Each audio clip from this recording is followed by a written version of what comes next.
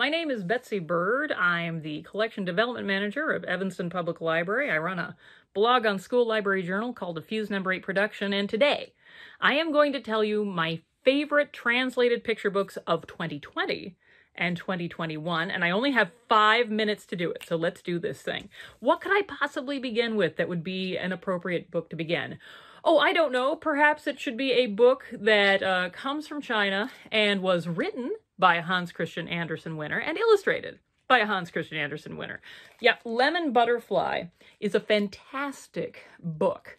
Basically, it's this dreamlike story of this little butterfly that's attempting to find the flowers.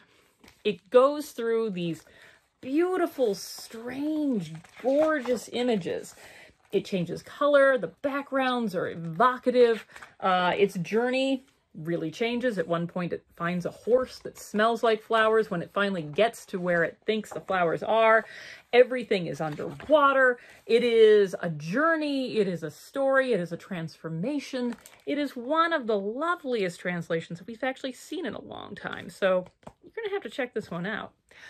But let's go all around the world. I don't want to stay on one continent. So what about Brazil? Well, From My Window by Otávio Jr. This is a fantastic COVID book. I'm just going to say it. It's a COVID book. It's about a guy looking out his window, seeing the world out through his window, everything that's going on. Admittedly, it's not entirely a COVID book because there are people out there doing stuff.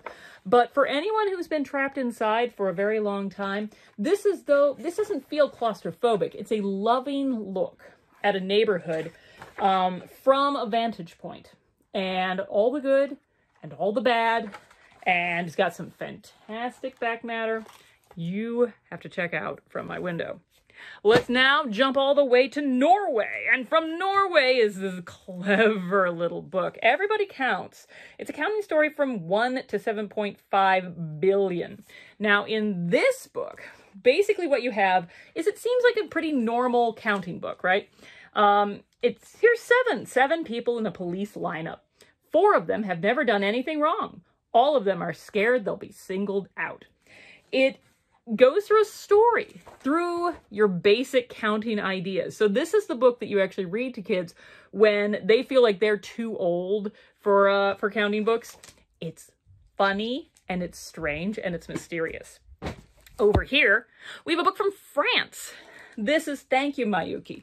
This is a book about meditation and it's about wakefulness. It's about being connected to the world, but at the same time, it is about a squirmy little child who has a hard time sitting still while her grandfather wants to stop and smell the flowers once in a while. It is a great book that both acknowledges paying attention to your breath and the fact that small children are wiggly.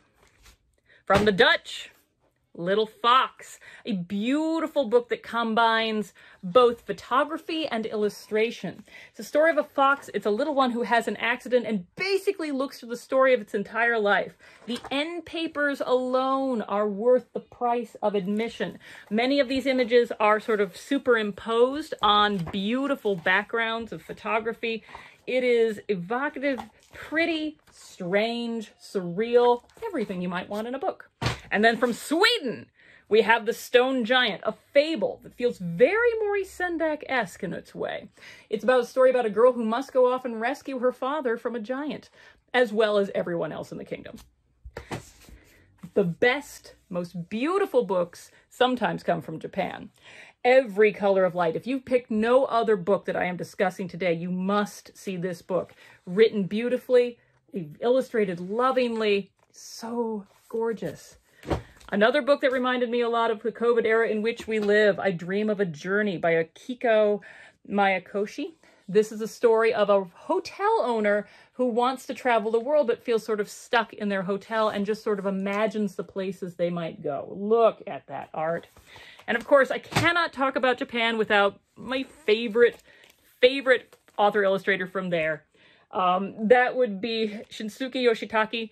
These books are surreal, funny, strange. There must be more than that. And I Can Be Anything never go in the directions you need them to go.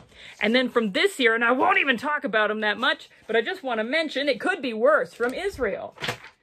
We uh, this is the uh, Dragon. We're, Where is the Dragon by Leo Timmers. That one is Belgian. Sato the Rabbit, which is Japanese. And finally from Germany, Einstein. That one's by Torben Kuhlmann. It's very fun.